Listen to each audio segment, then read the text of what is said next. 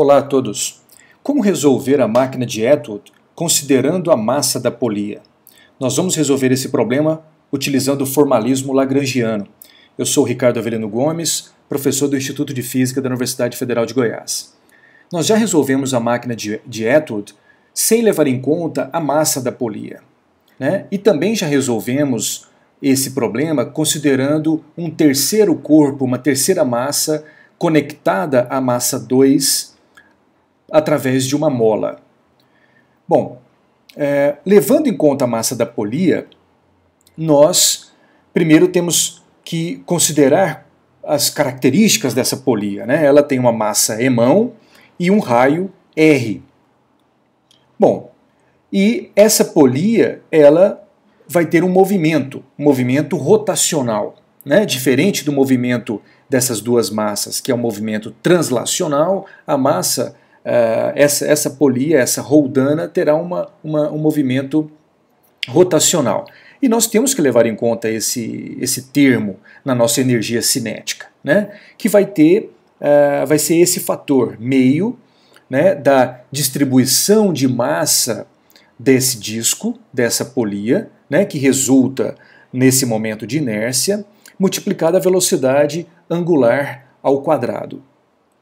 Bom, o momento de inércia de um disco né, com o eixo de rotação perpendicular ao plano do disco será meio de emão vezes errão ao quadrado.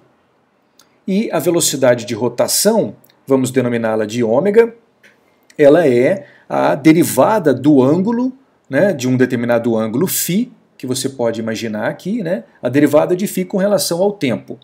Bom, um segmento né, de arco aqui desse círculo, ele é igual a φ vezes o raio. Se você deriva essa expressão, que é o nosso vínculo, né, é, para uma, um fio que não desliza sobre essa polia, se você deriva essa equação, você encontra a velocidade linear sendo igual à velocidade angular φ ponto vezes o r.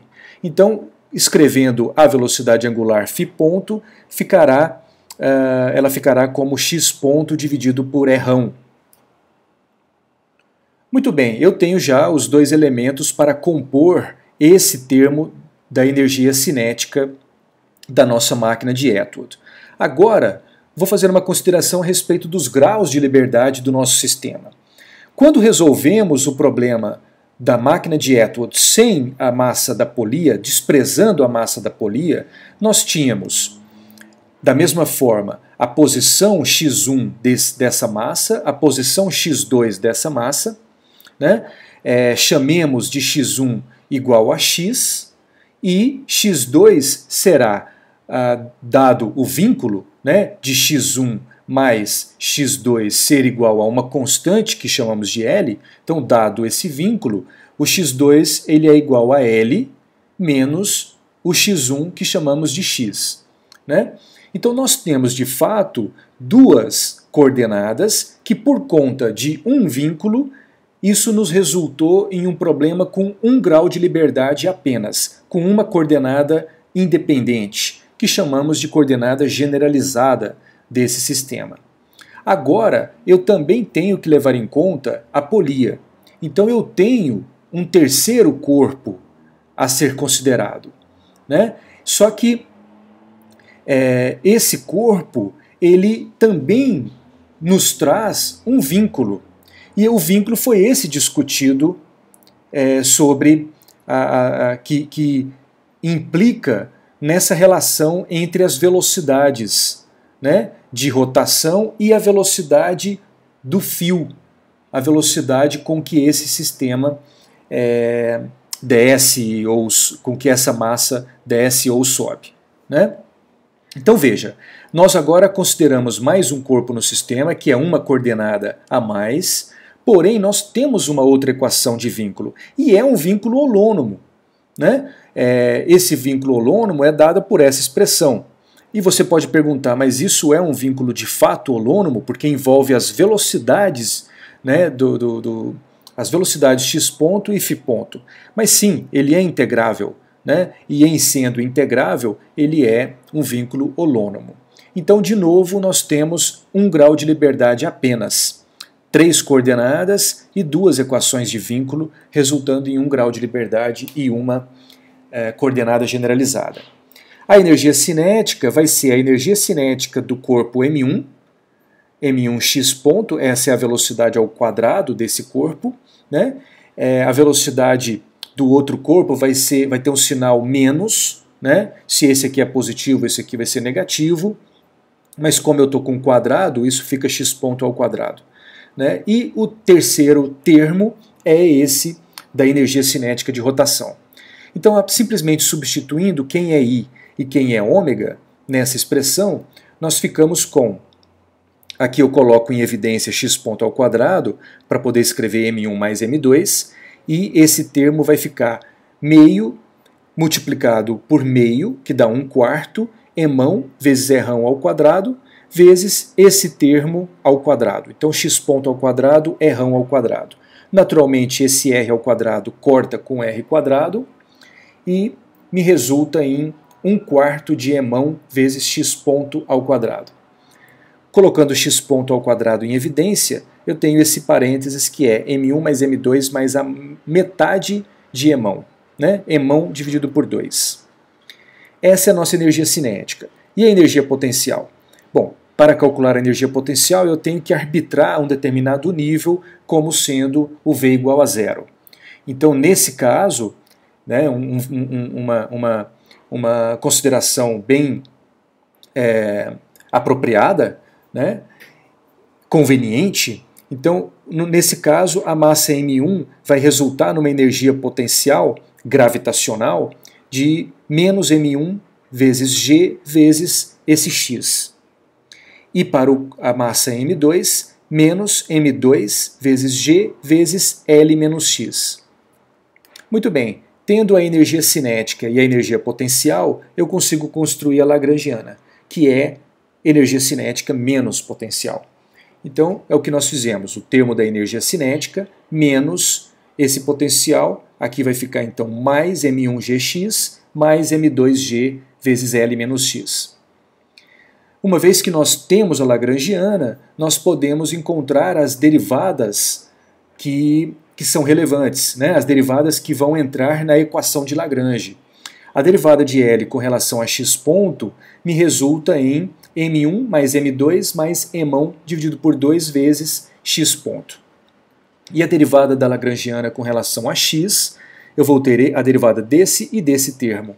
Né? Vai ficar m1g mais m2g vezes menos 1. Então fica com menos m2g. Dessa forma, eu consigo já escrever a equação de Lagrange. Vai ser a derivada total com relação ao tempo dessa derivada, né, que resulta nesse mesmo parênteses, vezes x dois pontos. Menos esse termo é igual a zero. Passando esse termo para o outro lado, vai ficar igual a m1 menos m2g. E assim eu obtenho que x dois pontos é igual a essa expressão.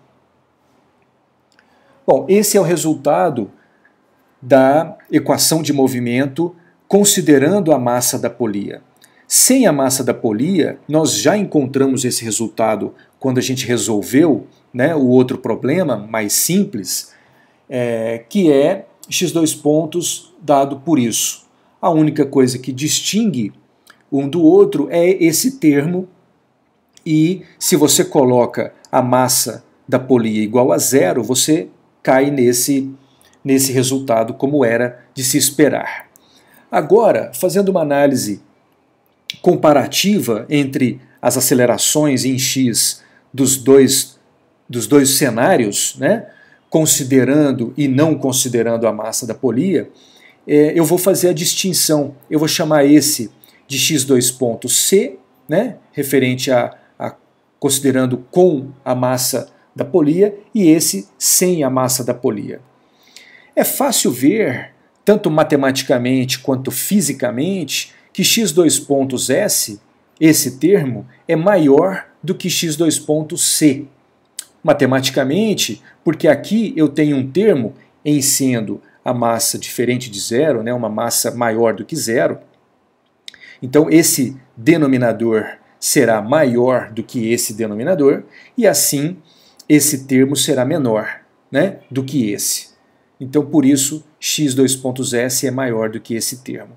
E fisicamente, que como uma parte da energia do sistema terá que é, girar né, a roldana, que tem massa, né, então eu vou ter um termo da energia cinética, é, então, consequentemente, a, a aceleração do corpo M2 ou M1, depende de qual for maior para saber qual que está descendo, né, a aceleração será maior ou menor dependendo da massa da roldana.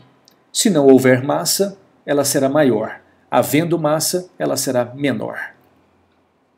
Agora, a pergunta é quanto maior? Né? Quão maior é xs dois pontos comparado com x2 pontos c? Bom, basta fazermos a divisão desse termo por esse. Né? Naturalmente, m1 menos m2 vai se cancelar e g também. E eu vou ficar com, no numerador, M1 mais M2 mais M1 por 2 dividido pela soma de M1 com M2.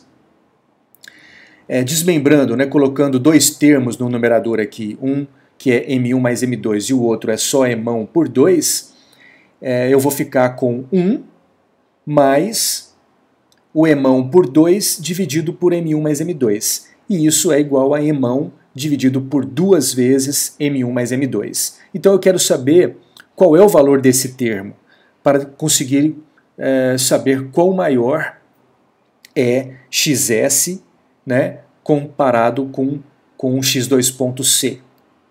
Bom, substituindo alguns valores num cenário imaginário, você considere a massa M1 de 500 gramas, a massa M2 de 1 kg e a massa da roldana de também 500 gramas. Dessa forma, você vai ter aqui no numerador 0,5, né? no parênteses vai ser 1 mais meio, que dá 1,5 vezes 2, 3. Então é meio dividido por 3. Né? Eu estou me referindo apenas a esse termo em destaque. Meio dividido por 3 é o mesmo que 1 por 6, e isso é da ordem de 17%.